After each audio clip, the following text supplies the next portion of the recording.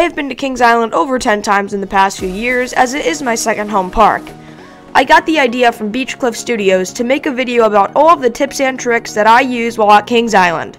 I think I've visited enough to know most of the tricks at the park in order to maximize productivity in your day.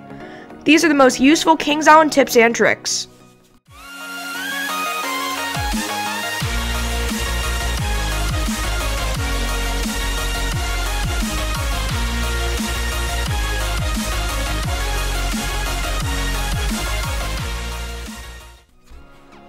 Let's, let's start off with some tips for outside the park. You definitely want to arrive a few minutes early to Kings Island, as the park can get very busy. I recommend trying to arrive about 30 minutes before opening. For pass holders, arrive around 9 a.m., and for non-pass holders, try to arrive around 9.30. This is so you have time to get in line and don't have to rush to the park for opening. Parking at Kings Island isn't really that bad. Try to park near the center, that way it isn't that far of a walk to and from the park. If you are not a pass holder, buy your tickets in advance. For most amusement parks, online tickets are a lot easier than buying at the park. Also, many gas stations, stores, and websites have coupons or discounts that can help you save money at your visit. Right outside of Kings Island are restaurants littered around. If you don't feel like spending money on expensive theme park food, you can always stop at the Chipotle or McDonald's right outside the park. Kings Island does offer stamps for free entry back in, so you should use this to your advantage. Multiple times we have left the park to cool off in our car before coming back to finish off the day. What about hotels? Kings Island is a large park, so you may need multiple days. If you use the tips coming up, you probably won't need more than one day, but just in case, right across the highway are multiple hotels, motels, and a new campground owned by Kings Island. These aren't the cheapest, but they are very nice places to stay. Now, enough about the outside of the park, let's get into the meat of the video. This next section will focus on tips right at park opening. If you want to get on as many rides during early entry, you should use this route I am giving you. If you don't have early entry, this route will still work, you may just be waiting a little longer. Basically, start speed walking straight to Orion, because Orion is the newest coaster and it will always have the longest line in the park, so you should head there first to get it out of the way. The fastest path that is open during early entry would be to head past Viking's Fury and past Racer. At normal opening, the path around the Eiffel Tower will be open, and that is a large shortcut.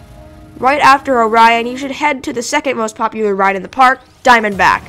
Unfortunately, Diamondback is on the other side of the park, but there is no need to hurry. Kings Island isn't that large, so it'll only take about 5 minutes to walk across. You should be getting to Diamondback at around 9.45 for early entry and 10.15 for regular opening. The easiest way is to cut through the Eiffel Tower and around Planet Snoopy. Right after Diamondback, walk a few feet down the path to Mystic Timbers. By the time you get off Mystic, it should be about 10 for early entry and 10.30 for regular opening.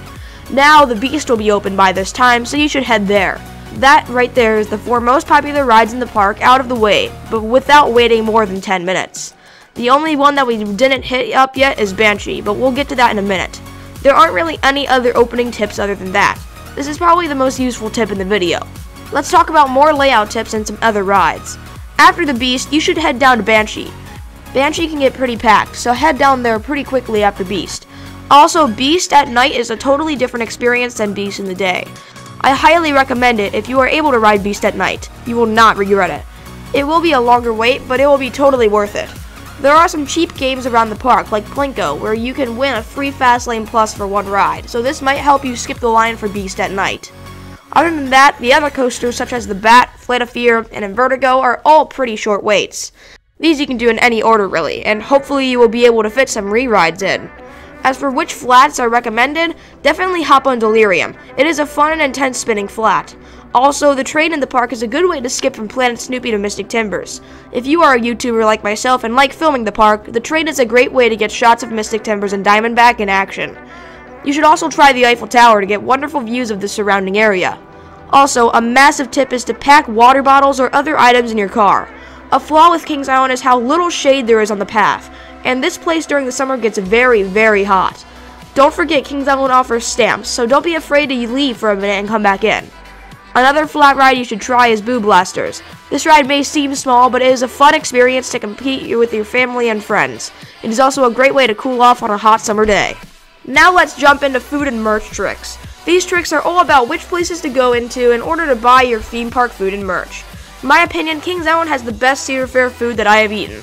They have your typical amusement park food, but also lots of variety. You should definitely check out the Festhaus or Tom and Chee when visiting the park.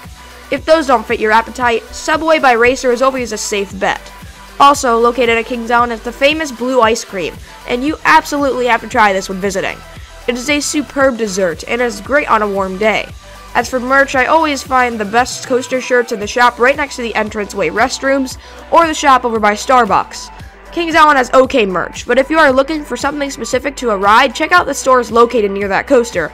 Some rides, like Diamondback, have their own store next to them. Restrooms, for the most part, are clean, but I find the restrooms by Invertigo to be the cleanest. So these are really all the tricks I use when visiting the park.